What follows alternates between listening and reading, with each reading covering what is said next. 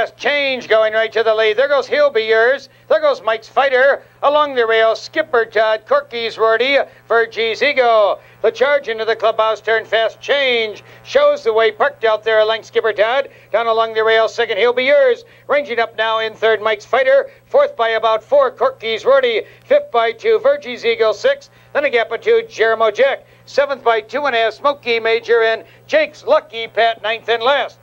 They're at the quarter. A snappy 28 and 4. He'll be yours now controls the race. He'll be yours. Sprints clear by three lengths. Fast change, second by two. Skipper Todd in third. And there goes Virgie's Eagle. Storming out there, fourth driving third. Virgie's Eagle on a roll to the outside to challenge He'll Be Yours. Virgie's Eagle powers into command. He'll Be Yours now, second fast change. Right there, third by about three lengths. Then to the outside, Smoky Major on the move. Out there, followed by Jake's Lucky Pet. They're halfway home, 58 and 3. Virgie's Eagle swings around the far turn now with a two length lead. Then on the inside, it's still He'll Be Yours second. Fast change, tucked in third.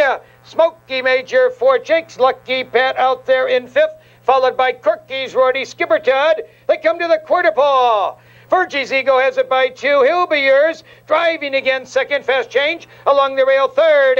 Here they come, spinning out of the turn. Virgie's Eagle has it now by almost two and a half lengths. He'll be yours in second by three. Fast change on along the rail, racing in third. Down the stretch at the eighth pole, Virgie's Eagle feels the whip striding out three and a half. Then it's He'll be yours second by about four. Then Jake's Lucky Pet coming on third. Corky's ready to the outside in fourth. But up front, it's all Virgie's Eagle. Virgie's Eagle strides out by seven, then Corky's Rorty. Virgie's Eagle, six on the wire. Corky's Rorty second. He'll be yours third.